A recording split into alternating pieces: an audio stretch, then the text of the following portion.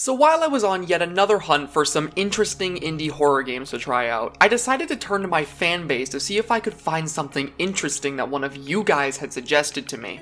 There were quite a few games which piqued my interest, some of which I actually fully intend to make videos on in the future, but one stood out to me the most while I was on my little hunt. The game was suggested to me through Instagram DMs of all places, and the person in question had asked me to try out a free indie horror game called Zardy's Maze. Now, I'd never heard of this game before, and hearing that it was free, I figured, why not? I've got nothing to lose. So I looked into it, and what I ended up finding was an extremely interesting game that I ended up sinking hours into. Zardy's Maze is a very challenging, yet enjoyable horror game which uses a procedurally generated maze and a whole catalog of interesting monsters to keep the player on edge. What seems at first like a very short and simple experience suddenly turns into a game worth hours of your time thanks to the sheer amount of content it boasts. What originally made me check this game out was the interesting premise and the free to play aspect of it. However, after finishing it, I honestly feel like I would have paid for this game if a price tag was put on it. And for that reason, I'd love to talk about it today. In this video, I intend to go over Zardy's Maze, discussing how enjoyable it is to try and finish this surprisingly difficult game. So, without further ado, let's delve into it.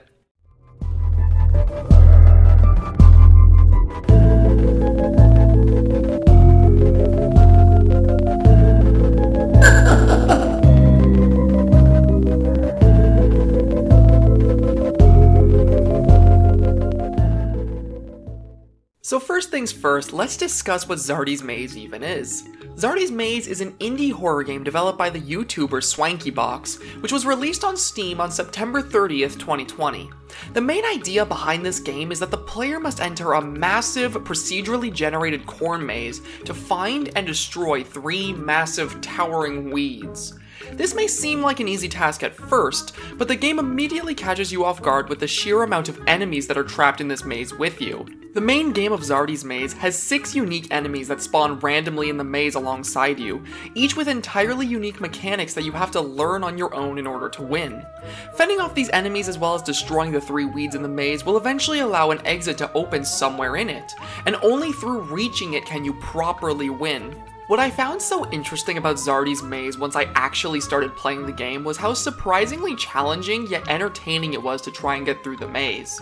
Because of the procedurally generated seeds the game uses for the maze, we're never able to properly learn about our surroundings, meaning we have to completely change our strategy to fit whatever new maze we're faced with. And then, of course, there's the colorful cast of enemies that are trapped in this randomly generated maze with us.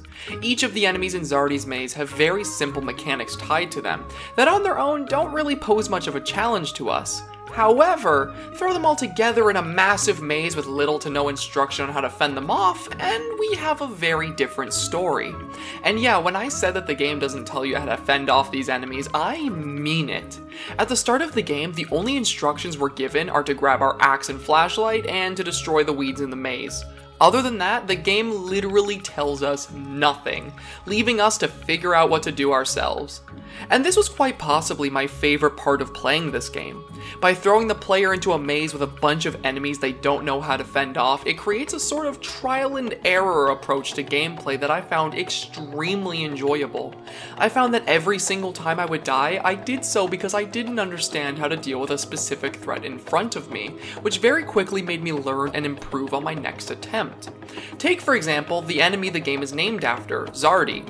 When I first encountered this guy in the maze, my immediate course of action was to try and fight him with my axe, which pretty much instantly led to my death. Dying to him while trying to use the axe taught me that it wasn't the tool I needed to deal with him.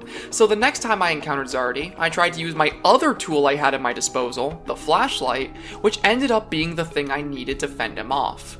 This trial and error playstyle that the game promotes makes each death feel meaningful and fair, making it feel like something can be learned from all your failures to eventually lead to victory.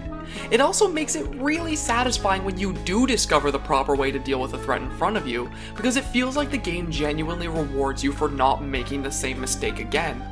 And even when you figure out and master all the mechanics behind the many monsters in Zardy's maze, the game continues to challenge you by having these enemies work with one another to catch you as you try to fend them all off.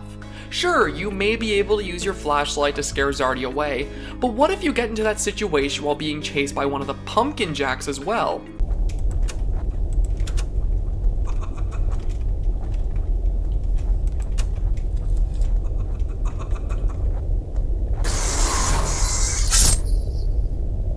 Mastering the game is not only about learning how to deal with each threat you come across, but it's also about being able to react quickly and effectively when multiple threats are present at a time. Doing this is extremely difficult, but once you get good enough at traversing the maze as well as dealing with every enemy in it, finally reaching that exit at the end feels incredibly satisfying because it shows that you were properly able to learn from your mistakes and master the challenge of the base game. And this discussion of the game's challenge has gone without even mentioning the amazing challenge mode you gain access to after beating the base game. The challenge mode of Zardy's Maze is exactly the kind of post-game content I wanted to see from this game. It has everything you could possibly want to get a more difficult experience, while also being extremely customizable. It adds multiple new characters to the maze with brand new mechanics, has several preset challenges which ramp up in difficulty slowly, and if those challenges aren't your cup of tea, you can even create your own challenges by changing how many monsters are in the maze, as well as changing their individual AI level. You can even copy and paste seeds for different mazes if you prefer to play with a certain preset level layout. The customization you get from this challenge mode makes the game damn near infinitely replayable, and for that reason I found myself messing around with it a lot just to see what the hardest possible challenge I could beat was. And I still find myself doing this from time to time just for fun. Even without this challenge mode though, the game still keeps a level of replayability all thanks to the procedurally generated nature of its design. Every single time you play the game, the random nature of both the maze as well as the enemies in it makes it so that you never know what to expect going into it. So no matter how many times you play it, the game can still provide you with a fair challenge. This fundamental game design, as well as the plethora of options available in the challenge mode, make Zardy's Maze an extremely entertaining game that I honestly would have paid money for if Swankybox put a price tag on it. I feel like this game has so much content and enjoyment to offer for how simple it is, and for that reason, it's a gem sitting in Steam's massive gallery of horror games. If you haven't tried this game before, I couldn't recommend it enough. It's not a very demanding game on your computer, and it's completely free on Steam, making it very accessible to anyone who wants to give it a try. And if you don't already, I also highly recommend watching the stuff made on YouTube by this game's creator, Swankybox. Not too long ago, he already revealed that there's going to be another one of these games in the works, and he overall makes some really great stuff on there.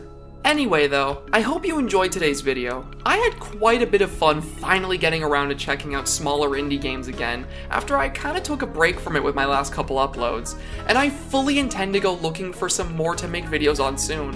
Whatever it is I do end up making in the future though, I hope you're there to enjoy it. Goodbye for now.